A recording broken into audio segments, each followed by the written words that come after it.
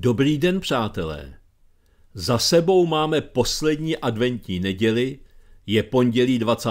prosince a protože je dnes 354. den roku, tak do jeho konce zbývá těch dnů už jen 11. V kalendáři se dnes na prvním místě skví jméno Dagmara. Tak si k němu, jako i k jiným, něco řekněme.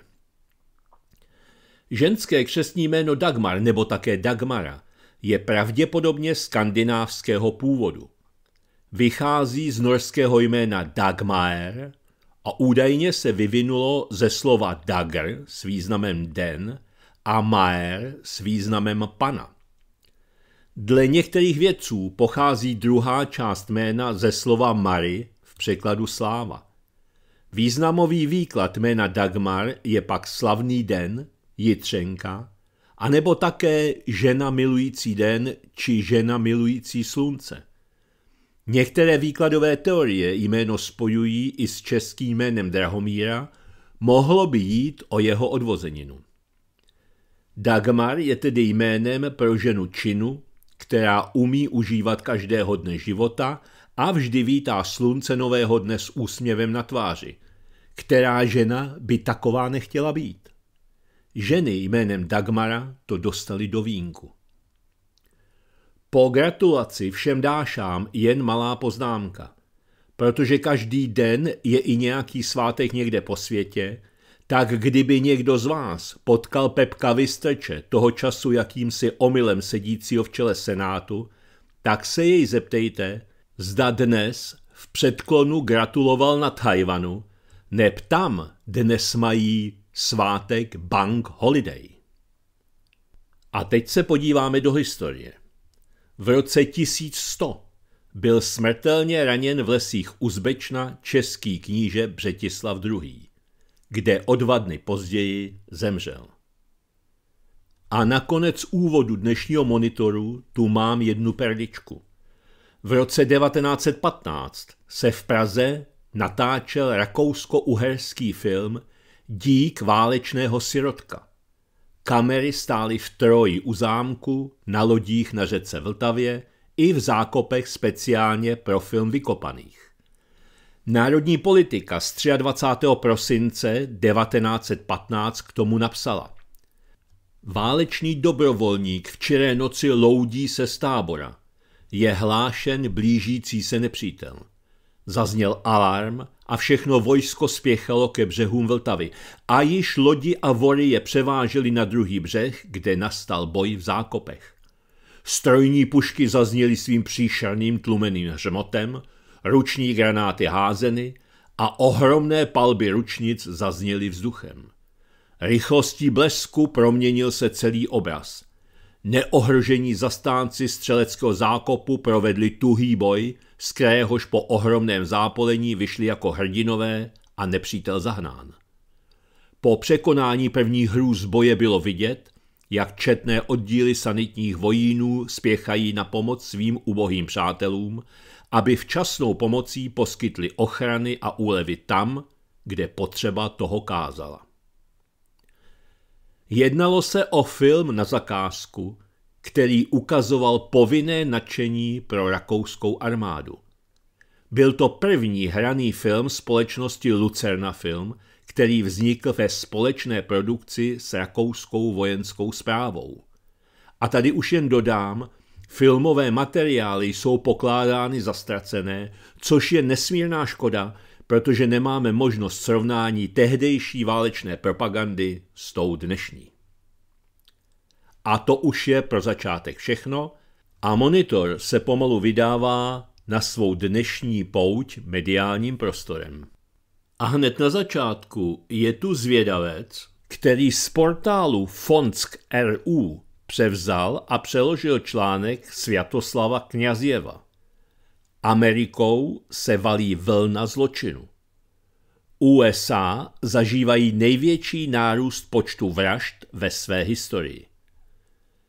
Ve Spojených státech byly nedávno zveřejněny konečné údaje o kriminalitě za rok 2020 a předběžné údaje za odcházející rok 2021. To, co se děje, nemá daleko k národní katastrofě. Počet vražd ve Spojených státech v roce 2020 vzrostl najednou o 30 V osmi státech a v řadě metropolitních oblastí, zejména v New Yorku, dosáhl nárůst počtu vražd 40% a více. Jedná se o nejvyšší nárůst závažných trestných činů v historii amerického státu. Dokonce i v roce 2001, kdy došlo k útoku na New Yorkská dvojčata, byl meziroční nárůst násilných úmrtí 1,5 krát nižší, přibližně o 20% pokud se započítávají všechny oběti. V roce 2020 připadalo ve Spojených státech na každých 100 000 obyvatel 7,8 vražd. Podíl vražd spáchaných střelnou zbraní dosáhl 77% a míra jejich objasnění klesla na 54%. Počet nefatálních útoků s přitěžujícími okolnostmi vzrostl v roce 2020 o 12%. Ještě před zveřejněním oficiálních údajů o kriminalitě se liberální média hlavního proudu snažila tvrdit, že na historických údajích o rostoucím počtu vražd údajně není nic špatného. Někteří z nich tvrdili, že to, co se stalo, mohla být emocionální reakce společnosti na pandemii. Zvláštní téze. A připomínali, že v absolutních číslech byla situace na počátku 90. let ještě horší. Jiní označili to, co se stalo, za nevysvětlitelný jev a statistickou náhodu. Předběžné údaje pro rok 2021 však umlčeli zastánce pandemické a náhodné verze. Přestože rok ještě neskončil, je již nyní zřejmé, že se situace zhoršila.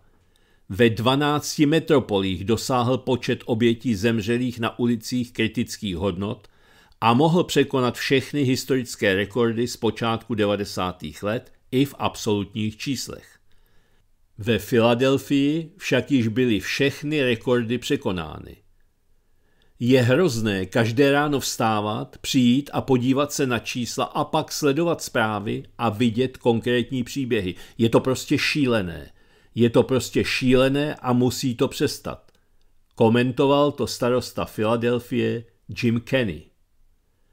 Ve třetím nejlidnatějším městě Spojených států v Chicagu se i podle prozatímních údajů počet vražd letos zvýšil o 3% oproti roku 2020 a pomalu se blíží rekordní hodnotě z roku 1970.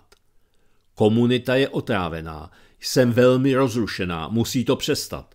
Poslední dobou je to tu horší než ve válečné zóně.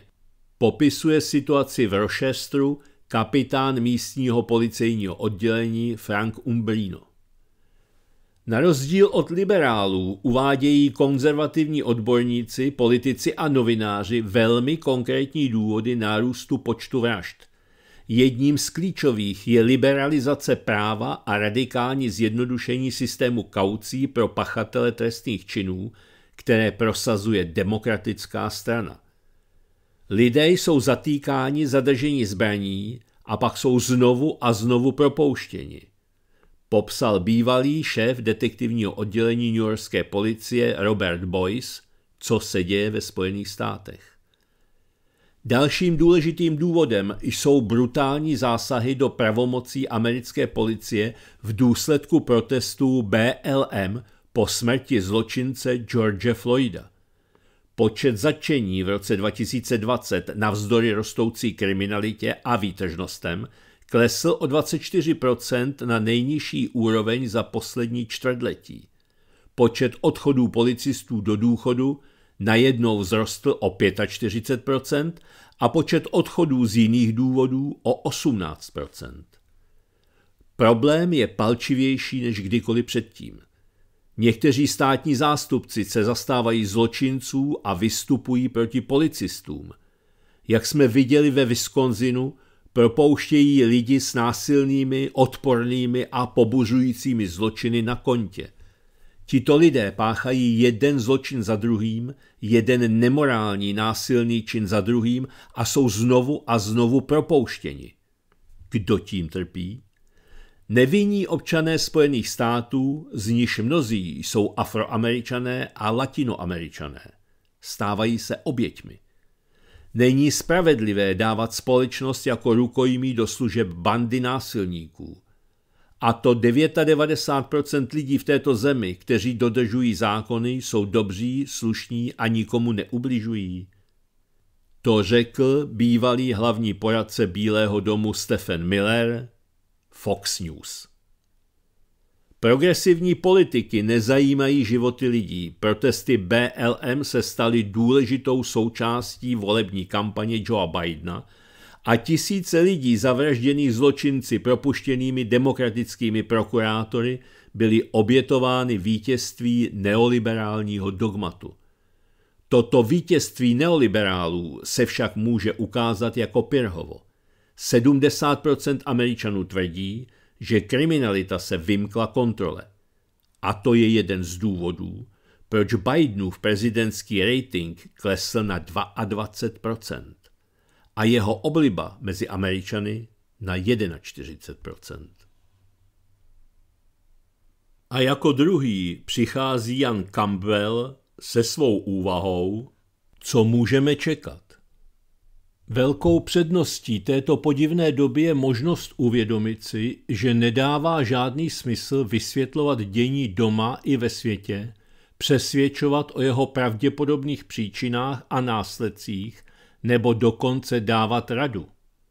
Přesto, a protože výjimka potvrzuje pravidlo, rozhodl jsem se nabídnout krátkou odpověď na dotazy čtenářů ve formě zamyšlení nad tím, co můžeme čekat s novou vládou poté, co mnozí z nás nevědí, co přesně ovlivnilo rozhodnutí prezidenta Zemana nebojovat s vítězem voleb, nehledě na relevantní výhrady proti osobě se zájmem o zahraniční politiku. Tu by neměl nikdo podceňovat, především s ohledem na historii obsazování pozice ministra zahraničí v České kotlině. Jejich počet, roli a konec ministrů. Dnes na Prahu rozhodnutí mezi dohodou soutěžit, sdílet, spolupracovat a dočasným klidem v historii většinou dosaženým po vojenském konfliktu se zdá o víc, než si našinec je ochoten připustit. Vztah s Čínskou lidovou republikou. Jako příklad představitelných následků pokračování politiku Senátu poslanecké sněmovny České republiky vůči Číně, doprovázené podobnou nové české vlády, může sloužit litevsko-čínský konflikt. Jako jeho počátek lze označit odmítnutí Vilniusu politiky jedné Číny, vytvoření de facto velvyslanectví Tajvanu v Litvě a používání různých názvů. Například Tajvan místo Taipei, jak to dělají Spojené státy i Evropská komise. Aby toho nebylo málo, litevské úřady rozhodly otevřít vlastní strukturu na ostrově a darovat podobně jako Česká republika a Slovenská republika 20 tisíc vakcín proti koronaviru ostrovním úřadům. Pro pozorovatele dovádění Litvy proti Ruské federaci a Čínské lidové republice první várka sankcí z Číny nepřekvapí. Jaké sankce mám na mysli? Čína vyloučila Litvu ze systému celních prohlášení v Číně. V praxi to znamená, že litevské zboží ve skutečnosti nemůže projít celnicí v žádném směru. Nulový vývoz, nulový dovoz, nic. V čínské obchodní praxi Litva přestala existovat. Ve spojení se snížením úrovně diplomatických vztahů a pozastavení udělování víz hodnotí Západ a jeho politicky korektní média rozhodnutí Číny jako bezprecedentní čínský útok na Litvu. Ve skutečnosti se jedná o varování státům trpaslíkům, ke kterým patří i Česká republika, ale i EU. Proč? Mimo jiné proto, že Česká republika nastoupila do vlaku Nizozemska, Velké Británie, Kanady a Litvy, který označuje akci Pekingu ve spojení s Ujgury za zločiny genocidy. V březnu letošního roku Litva vystoupila z formátu 17 plus 1. Teď mnozí v Evropské unii přemýšlí o bojkotu olympijských her 2022 v Číně bez podpory podnikatelů. Novému ministru zahraničí a předsedovi vlády České republiky proto neuškodí seznámit se s čínskými kritérii hodnocení vztahů s Čínskou lidovou republikou. Ta dovolují rozdělit státy na velmi přátelské, přátelské, neutrální a nepřátelské. Mezi nepřátelské patřilo Norsko, Japonsko, Jižní Korea a naposledy Austrálie. Česká republika má zatím štěstí. Jak dlouho ale? Nevím. Vím ale, že nic netrvá věčně, ani láska k jedné slečně, proto neuškodí představit si následky bagatelizace sankcí i v případě nízké úrovně obchodu s Čínou. Případě Litvy export činil v roce 2020 pouze 0,3 miliardy eur, tedy 1% celkového exportu Litvy, což řadí Čínu na 22. místo. S ohledem na čínský dovoz do Litvy se bavíme o 1,2 miliardách eur a sedmém místě. Pokud se však podíváme na loňské čínské investice v Litvě, ty činily pouze 7,8 milionů eur a litevské investice v Číně 39,3 milionů eur. Již z tohoto paradoxu je možné dovodit, že i když političtí trpaslíci u moci se nezajímají o zahraniční obchod s Pekingem, negativní důsledky zcela jistě pocítí především litevští investoři, podnikatelé a poté litevská společnost, která neemigrovala. To, že Litva nedělá žádnou slávu integračním snahám EU a nezávislosti států po rozpadu Sovětského svazu, je jiná věc. Skutečnost, že Brusel sedí tiše, hledá řešení, jak reagovat na akci Číny a čeká, co se bude dít, indikuje, že má strach podpořit stát trpaslíka. Pro zahraniční politiku České republiky to představuje důvod pro snahu vrátit se k dialogu, respektu a pokoře bez ztráty tváře. Vztah s Ruskou federací. Není pochyb, že vážnou výzvu pro zahraniční politiku nové vlády České republiky představuje vztah s Ruskou federací. Osobně jsem přesvědčen, že generační aspekt v ruské a německé zahraniční politice bude hrát stále větší a významnější roli než hospodářské nebo kulturní zájmy, včetně historie. Již dnes lze konstatovat, že zájem Ruské federace o Českou kotlinu na bilaterální úrovni je prakticky nulový. Jenom těžko si mohu představit, že dojde k setkání ministrů zahraničí Ruské federace a České republiky nebo jejich zástupců s cílem narovnání a obnovení vztahu, protože potřebný nutný souhlas k jednání České republiky s Ruskem nelze očekávat z Bruselu, Berlína ani Washingtonu. Souhlas od uvedených představuje komplexní výzvu pro zahraniční politiku České republiky. Tou se mi jeví skutečnost, že vztah Česká republika s Ruskem nelze oddělit od vztahu se Spolkovou republikou Německo. Ten je i dnes zatěžován emocemi, Benešovými dekrety, hospodářskou závislostí na Německu a v neposlední řadě i rolí České republiky v Evropské unii. Nehledě na formálně dobré vztahy s Německem předpokládám, že dříve než později se potvrdí, že specificky česká rudimentárnost vzorců chování daná dlouhodobou převahou pragmatických jejich eroze v důsledku stále nových revolucí, pseudorevolucí a hodnotových zvratů vede Českou republiku do situace, kdy bude jako již mnohokrát v historii ve špatné straně nebo na špatné straně. Otázkou je, která strana je správná. Existuje velice málo států podobných Rakousku s jeho vojenskou bezblokovostí. Kromě toho, že neutralita se v předválečné době a během segregace nikdy nenabízela a spravedlivější sociální, hospodářský a politický systém vyžaduje totální segregaci. K ní může dojít pouze dohodou nebo válkou. Proto západem praktikovaná a propagovaná demokracie se již nikdy nevrátí. Z uvedeného vyplývá mimo jiné pravděpodobnost, že pragmatický Kreml, který akceptuje reality v Číně, Německu a Evropské unii, dal zelenou Německu převychovat Českou republiku a zvelebit Českou kotlinu podle svého, formálně pod bdělým okem a podle plánů Bruselu. Proč se Kreml mohl rozhodnout pro převýchovu České republiky tímto způsobem? Především proto, že Česká republika je v Kremlu vnímána jako zrádce a nepřítel a na politickou scénu přichází mladá generace bez zkušeností, profesionality a pokory. Proto Česká republika bude trestána nestandardně. Nelze vyloučit, že pan prezident zohlednil tuto pravděpodobnost. Ta obsahuje mimo jiné také možnost, že převychování České republiky párem Evropská komise Spolková republika Německo ochladí mnohé horké politické hlavy, především až dojde ke ztrátě zbytku suverenity České republiky a občané zjistí, co se s nimi hraje. Tomu nezabrání vztah České republiky se svatým stolcem, který čeká na ratifikaci smlouvy z 25.7.2002, ani dobrý vztah s Izraelem a Spojenými státy. Praktické možnosti prezidenta vyloučit zmíněnou pravděpodobnost jsou dnes nulové.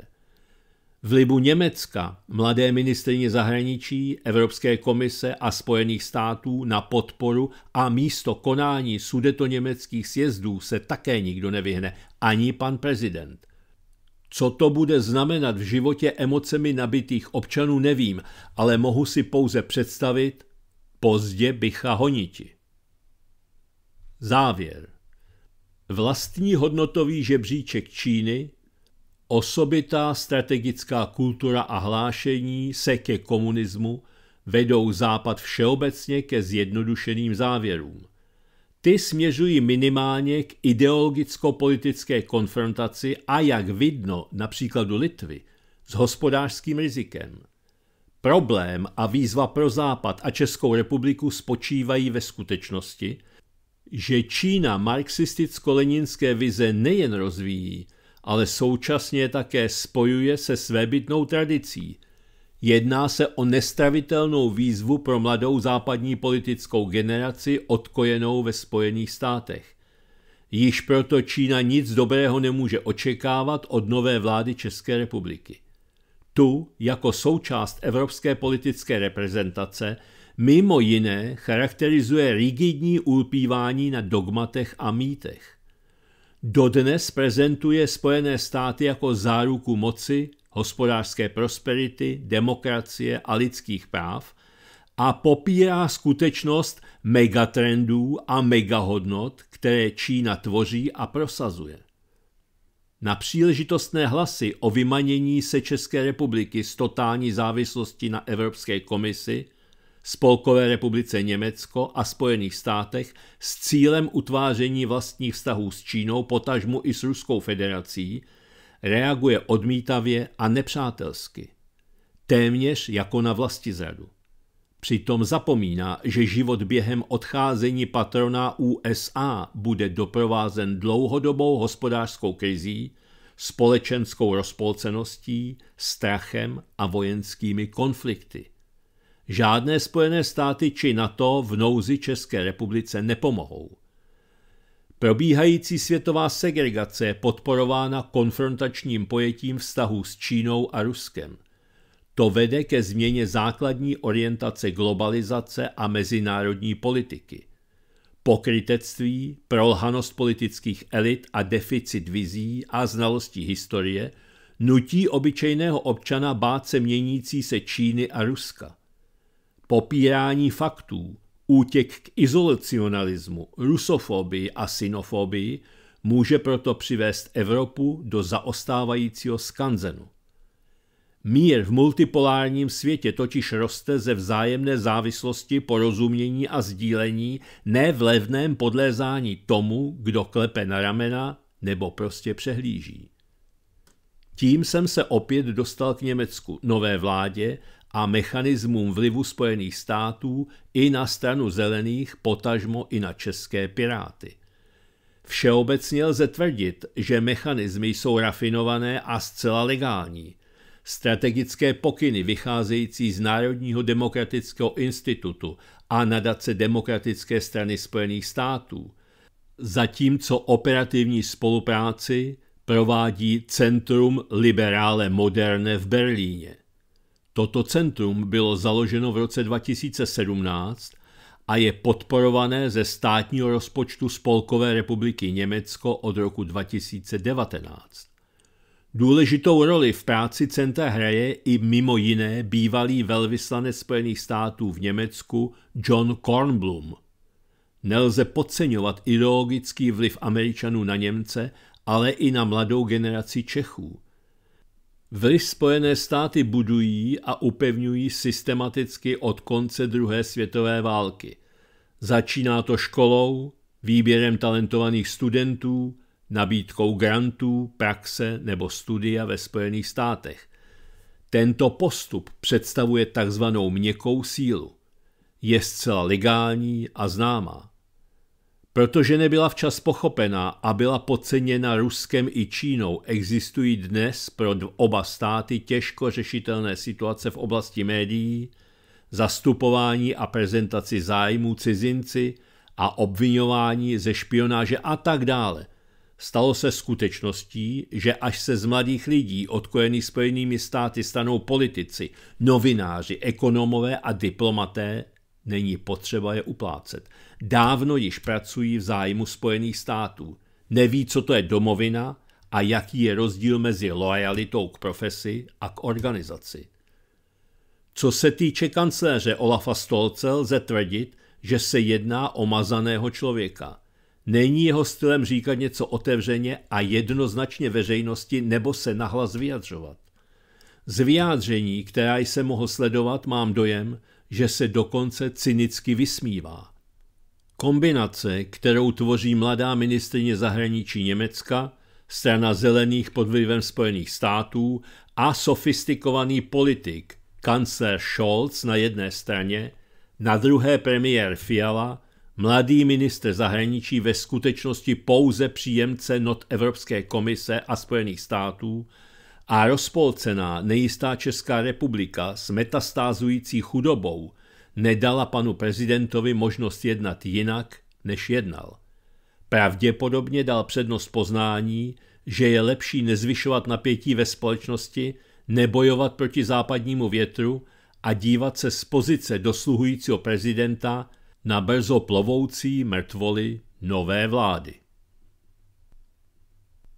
A je tu defense a vítězové plandémie.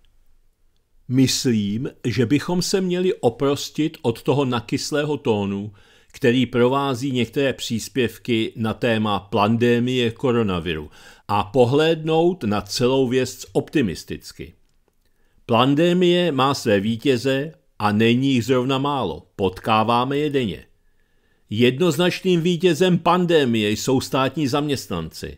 V roce 2020 vzrostla průměrná mzda státních zaměstnanců o 16,3%. Je to pravděpodobně nejvíc ze srovnatelných zemí. Velmi slabě konkuruje Lotyšsko s nárůstem o 16,4%.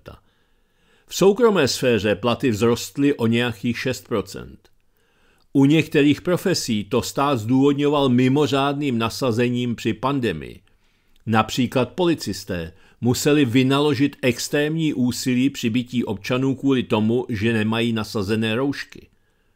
Růst za rok 2021 nebude pravděpodobně tak vysoký, ale nejspíš bude opět dvouciferný.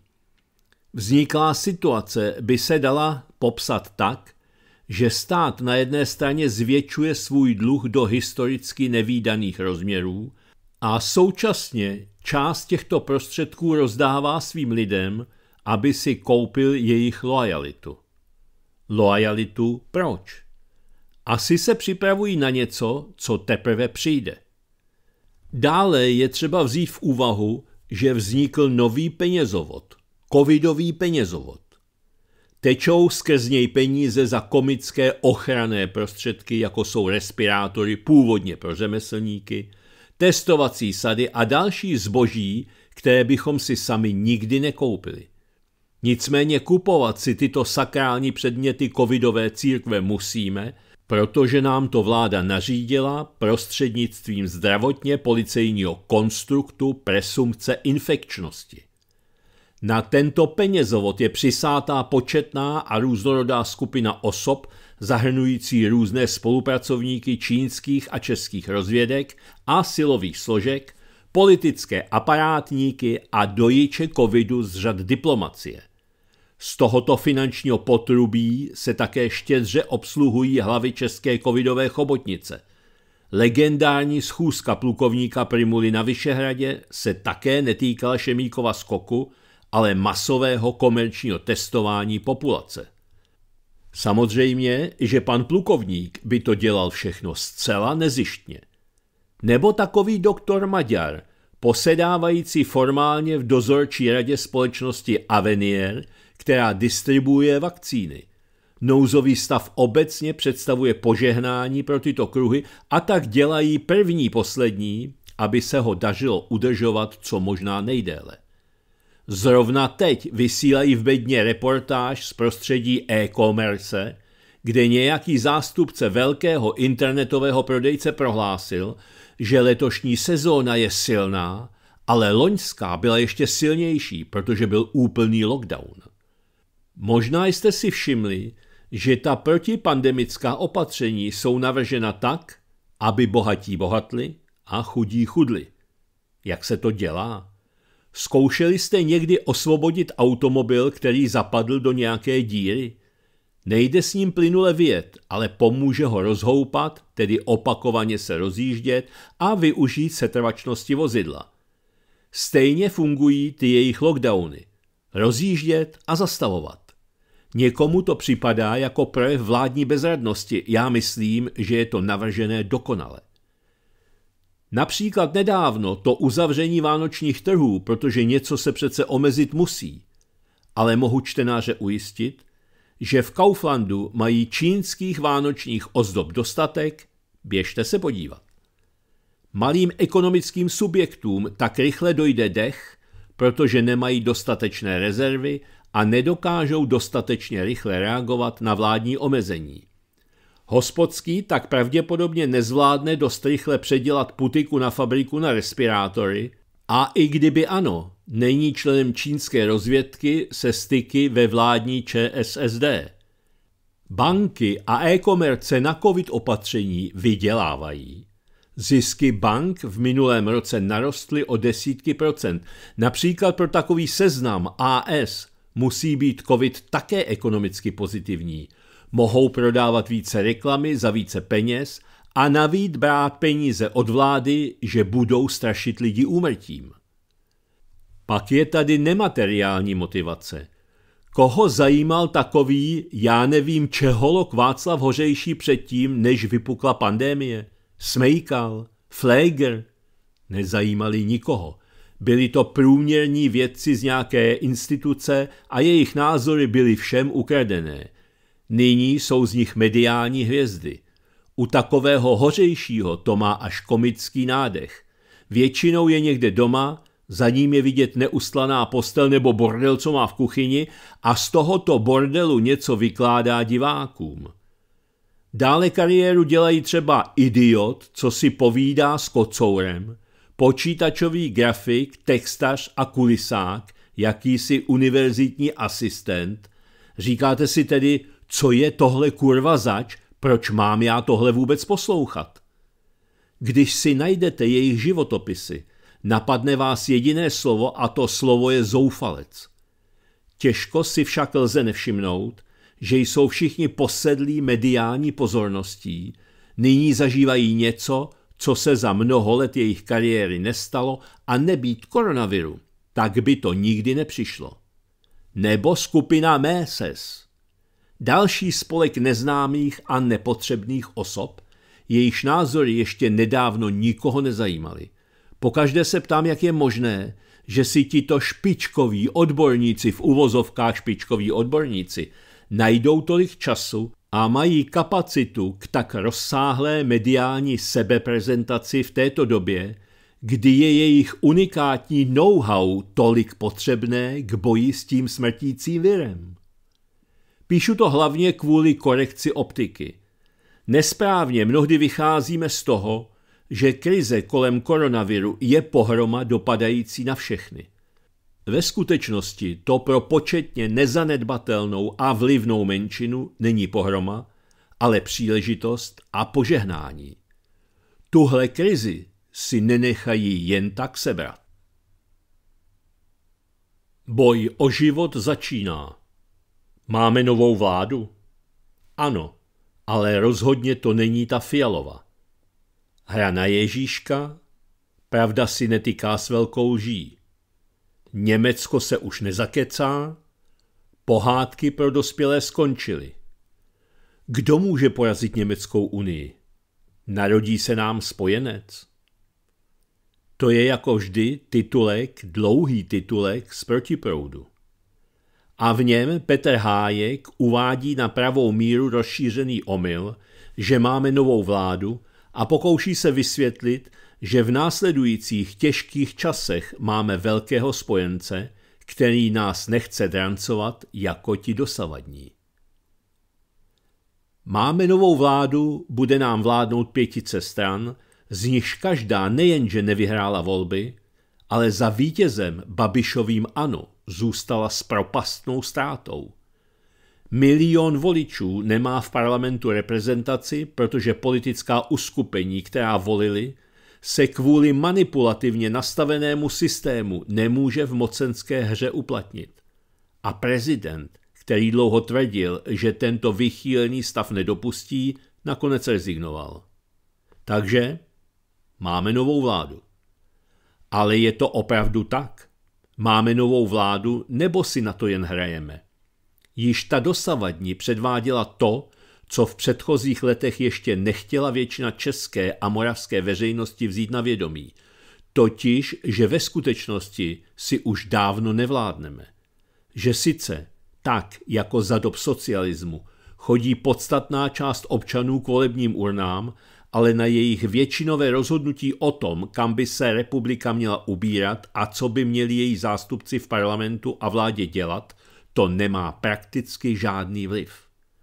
Co tedy máme očekávat od nejbližších týdnů, měsíců a let? Je příznačné, náhoda neexistuje, že vláda Petra Fialy se dostala k domělým mocenským pákám v okamžiku, kdy adventu již nakrátko a blízko blizoučko štědrý den. Stále ještě v naší zemi sice existuje převážná většina pamětníků, Již citovaná slova básně Karla Jaromíra Erbena nějak rezonují v hlavě, ale absolutní většina této většiny vůbec neví, o čem se tam mluví. Jaký pak tajemný svátek ve chvíli, kdy skutečná vláda, kterou jsme my ani nikdo jiný nevolil, hodlá i samotný pojem Vánoce vymazat z hlav? Hra na Ježíška. Pokus Evropské komise zlikvidovat slovo Vánoce vedle dalších základních pojmů jako třídu, slovy našich vládců, kteří se k domělým mocenským pákám dostali po velmi podobné volební a prezidentské rošádě v roce 1948, ještě zvedl vlnku rozhořčení. Soudruzi v Bruselu proto na okamžik formálně o krok couvli aby již brzy mohli učinit další dva maovské skoky vpřed, kupředu, zpátky ni krok. Po nich nám již hra o Vánoce bude připadat směšně malicherná. Ostatně není vlastně o co bojovat. Vždyť Vánoce v letech po druhé světové válce již zcela ztratili svůj původní tajemný obsah a zůstal jen vytunelovaný pojem. A zdaleka ne pouze v zemích, které po 40 roků ovládal Sovětský svaz. Nejoblíbenější křesťanské svátky v euroamerickém civilizačním okruhu se již po dlouhá desetiletí udržují pouze proto, že představují explozi spotřeby. Obchodníci na ně čekají jako na hlavní vlnu nákupů, jež mají vyrovnat jejich bilanci a zisky. Mnozí málo majetní lidé se fatálně zadlužují, aby jejich děti a příbuzní měli bohatého Ježíška a necítili se sociálně odstrčeni. Vánoce se vžili jako hra na pohádku, jednou ročně vnesou dospělí do svých bytů uřezané jehličnaté stromy, poměrně nedávný zvyk z doby, kdy vánoční paralýza právě započala, a ozdobí je blízkavými předměty nebo dokonce elektrickými žárovkami. Televize bojují o to, která z nich přinese nejsledovanější pohádku ve svém programu, aby na ní mohla navěsit nejvíce reklam na spotřební zboží, protože hned po tomto výbuchu spotřeby následuje další v podobě novoročních výprodejů. A jen menšina malých dětí žije v představě, že jim dárky pod stromeček přinesl Ježíšek nebo Santa Claus či Děda Mráz, aby pak zažili hluboké rozčarování, když se od kamarádů dozvědí pravdu. Hra na pravdu. Pravda je ovšem sporná, právě tak jako všechny dosavadní revoluční pravdy v probíhající demontáži naší dvoutisícileté civilizace. Menší část menšiny, která se nepodvolila a její základní principy v sobě ještě nedovolila pohřbít, podvolená většina jim s trochou tolerantní útrpností říká věřící, je přesvědčena o opaku. Dárky podle ní totiž skutečně, nejen o Vánocích, přináší Ježíšek. Bohočlověk, který se narodil z Pany Marie v Betlémě, zázračným vtělením jedné části trojediného stvořitele, Božího syna, je tím, od něhož všechno pochází. Cokoliv v životě dostaneme, je dar, o nějž se tu více, tu méně musíme zasloužit. Všechno jsou Ježíškovi dary. Z tohoto hlediska je pravda o tom, že si dárky ve skutečnosti dávají lidé, rodiče dětem a tak dále, kruciální lží, již ovšem většina, byť teprve relativně nedávno, přijala za pravdu, neboť je to pravda pohodlnější.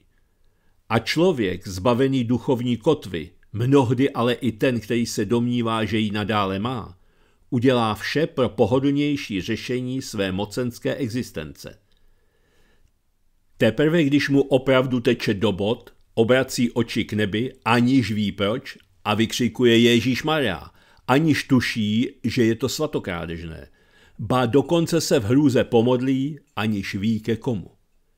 A mezi tím duchovně vyprázdněnou civilizaci obsazuje hluboce věřící lid falešného proroka, a nevěřící i věřící jen nevěřícně zírají, jak jejich vlastní vládci, škrtajíce ze slovníku Vánoce, Maria a Josef, jim otevírají dveře ve hře na pravdu, která je lží. Hra na vládu Úplně stejně je tomu ve hře na vládu, která poslední adventní víkend, advent rovná se očekávání Ježíšova narození, domněle převzala mocenské páky v naší zemi. A jak patrno, vůbec nesejde na tom, že v jejím čele stojí člověk, jenž se počítá k věřící menšině. Není na tom nic nového. Jeden z klíčových architektů záměrného zničení klasického politického systému, vyvzdorovaného na posvátném nevěřícím Václavu Havlovi v 90. letech Václavem Klausem, Otec bruselské taškařice s názvem TOP 09 Miroslav Kalousek o sobě rovněž tvrdíval, že je katolík. Ba stále to o sobě tvrdí i záhadně vysvěcený kněz Tomáš Halík, jehož hvězdná chvíle přišla až poté, když vatikánská zednářská mafie skandálně odstřelila papeže Benedikta XVI. a na Petru stolec dosadila cynického jihoamerického marxistického praktika Jorge Bergolia. A? A nic. Jak za situace, kde je vše v našem světě vzhůru nohama, by se tomu mohl vyhnout tisíciletý český stát? Do Strakovy akademie, sídla vlády, s požehnáním nevěřícího prezidenta napochodoval věřící premiér. Jako zázrakem. Vánoční pohádka nikoli dar v pravém slova smyslu, i když o něj jistě také jde, ačkoliv je možná jen dalším pokušením nelegitimní moci. Je to však pouze hra na vládu, lež, kterou většina akceptuje jako pravdu, Ve skutečnosti Petr Fiala a jeho ministři jsou toliko převodní pákou bruselské vlády, jež je převodní pákou německého imperialismu. Naší vládou je tedy ve skutečnosti ta nová německá, která se nezakecá, která již nebude předstírat, že jí nejde o zničení evropských národních států. Otevřeně říká, že chce na kontinentě vytvořit bez tanků německé impérium, o něž dvakrát neúspěšně usilovali její předchůdci. A náš nový ministr zahraničí volá po konání pravidelného sjezdu Hitlerových ublížených v našem státě. Proč za této konstelace vůbec vést spory o nějakého českého ministra? Zvláště je-li představitelem strany, která je z Německa přímo řízena a má v názvu opět již zcela otevřeně loupež a vraždění jako své moto. Podvodná hra na vládu je tím naopak dokonale demonstrována. Jsme tam znovu a bez obrany. Boj o život. Čekají nás dny, týdny a měsíce, roky asi v tomto podivném konkubinátu pěti prodejných sotva, budou servát o kořist. Kdy hra skončí? Hra na život v nezaslouženém a prací nepodloženém blahobytu fakticky skončila již před dvěma roky operací COVID. Současně s ní odstartovala drtivá ofenzíva těch, kteří covidismus rozpoutali jako overturu svého velkého restartu tyranie a otrokářství. Jedním z hlavních nástrojů je takzvaný zelený díl, o němž nový premiér již prohlásil, když předchozího parlamentního usnesení donutil jej v Bruselu podepsat, že jej prostě musíme akceptovat, řekl čistou pravdu. Postavit se proti by mohla pouze suverénní vláda samostatného státu. Nemáme ani jedno z toho absurdní ceny elektřiny v zemi, která je přitom především díky komunistům za předchozího režimu ve výrobě elektřiny z jádra prakticky jako jedna z mála v Evropě soběstačná, jsou toho dokonalým příkladem. Máme sice energie dost, takže by se náš stát mohl tomu uměle vytvořenému šílení s manipulovanými cenami vyhnout, ale místo toho ji přes burzu fakticky dodáváme do Německa. To stačilo mezi tím skrze pro sebe fantasticky výhodně nastavené euro vycucat ekonomiku většiny evropských států, takže má dostatečné polštáře, aby zelené šílenství vydrželo s nejmenšími ztrátami a s nejmenším rizikem sociální spoury poměrně dlouho. Adventu již nakrátko.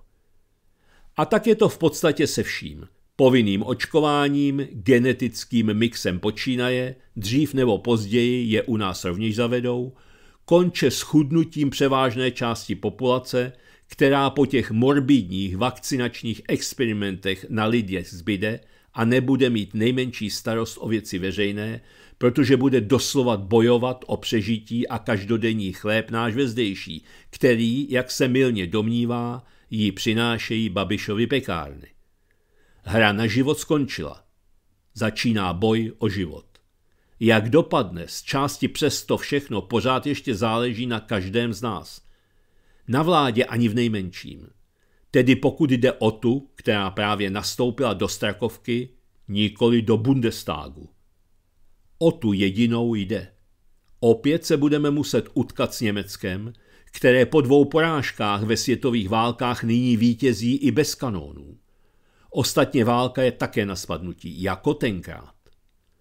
Dokud si budeme myslet, že se o sebe dokážeme postarat vlastními silami, tím méně ve spojení s některou velmocí Evropská unie, NATO, kráčíme s naším celým státem k tragickému konci. Jenže my naštěstí nejsme sami. Za pár dnů se nám opět narodí náš skutečný spojenec. I když to většina má jen za vánoční pohádku. Bude proto o to větší odpovědnost na těch, kdo dosud udržují spojení. Asi to vakcinační a hospodářské zlo muselo přijít, aby nevěřící společností něco konečně patřičně otřáslo. A když ani to nepomůže, pak se děj vůle páně, jako tak často v dějinách. Všechno ale na něm nelze nechat. Prozřetelnost pomáhá připraveným a odhodlaným. Možná bychom právě o tom v těchto dnech měli přemýšlet víc než kdy dříve.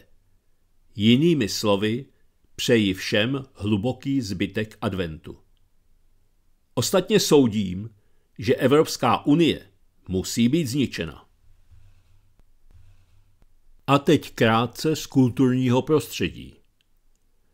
Redakce Nové republiky vyhlašuje mezinárodní československou literární soutěž o nejlepší původní povídku na téma Vánoce, které nesměly být.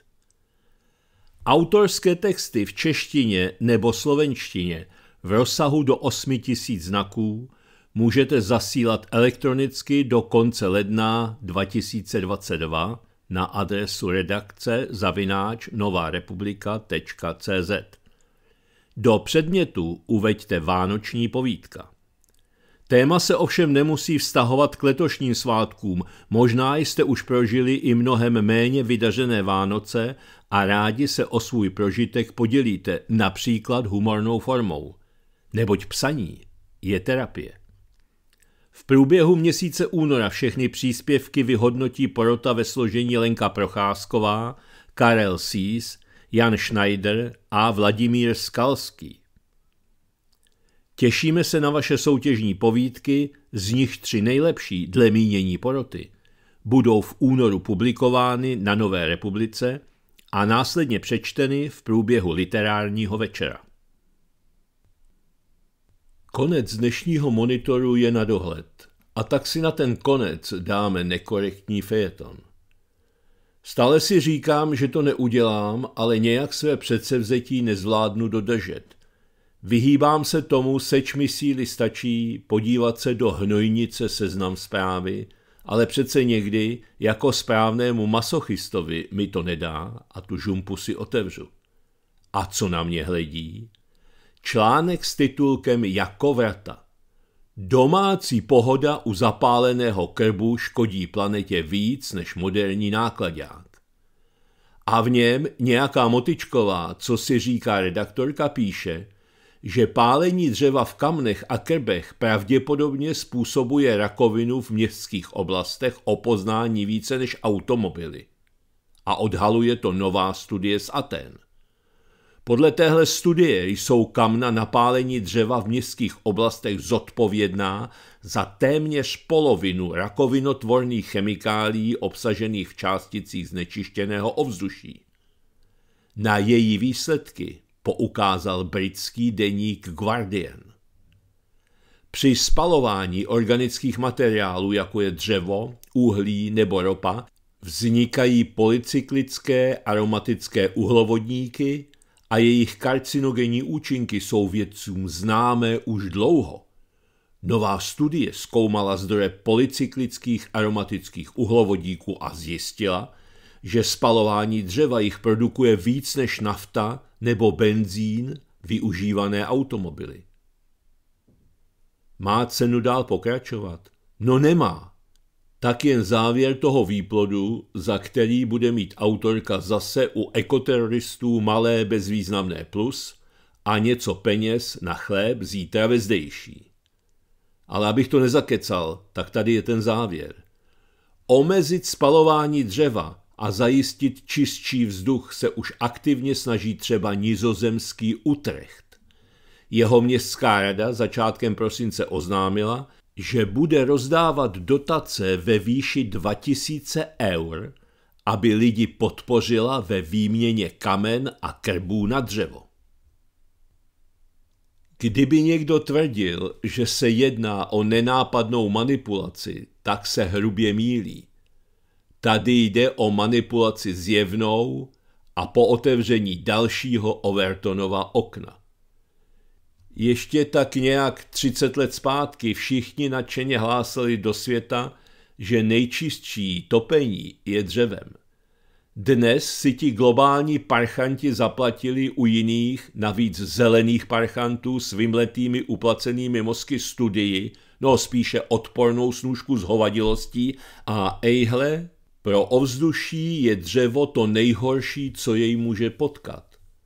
A je to jasné a navíc neuvěřitelné. Krb a deset polínek je horší než kamion, který vozí křížem krážem Evropou snad napitlovaný vítr, protože člověk pomalu přestává chápat, co v těch kamionech furt vozí.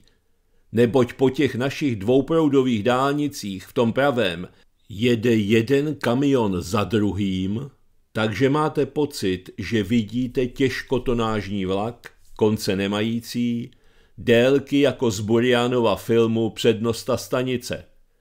Pozor, náklv! Vlak je hrozně dlouhý, každý myslí, že už je konec a ještě tam vzadu. Jen nechápu, a to mi ta expertní motika nevysvětlila, za co tam v tom utechtu budou ta topeniště na dřevo vyměňovat, když chtějí, kromě uhlí a produktů z ropy, zakázat už i plyn a o jádru ani nemluvím. Ty jejich větrníky to zcela jistě vyškubnou, zejména když přestane foukat a těch pár tuškových baterií, co se jim podařilo nabít ze slunečních kolektorů, než mraky zatáhly nebe, asi taky moc slávy neudělá.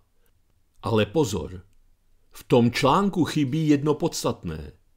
Planetě škodí ještě víc než krby, to věčné grilování masíčka, bustů, ale bacha, i těch veganských náhrad síra. Asi nám brzo zmrzne úsměv na tváři, a to doslova. Čím se bude topit? Jediné, co nakonec zbyde, budou emisní povolenky a ty naházíme na ulici do sudů, zapálíme, abychom se trochu ohřáli. A věřte, že to funguje. Na vlastní oči jsem to viděl kdysi dávno ve dvě v noci v Neapoli, kdy se okolo těch hořících sudů srcovaly sexuální pracovnice. Ovšem, jak se tak na ty zelené bezmozky koukám, tak by určitě založili další neziskovku a vyrazili do ulic s hasičákama. A protože jsou uvědoměle vzdělaní, tak by si zcela jistě dali bacha na to, jaký hnací plyn v tom hasícím přístroji je použit. Z předchozího je zřejmé, jaký je ten správný, lépe řečeno nejsprávnější přístup uvědomělého člověka k této problematice. Jaká pak pohoda u zapáleného krbu, když tak příšerně škodí planetě? Uvědomělý člověk se zahrabe dohromady listí a tam tu zimu přečká. A klidně si mě kritizujte. Hodina je za námi, jsme na konci, jak jinak. Takže jako vždy na závěr už jen dodám. Od mikrofonu monitoru studia Kalich Svobodného rádia se s vámi až do čtvrtka loučí Ivan Votava. Naschledanou.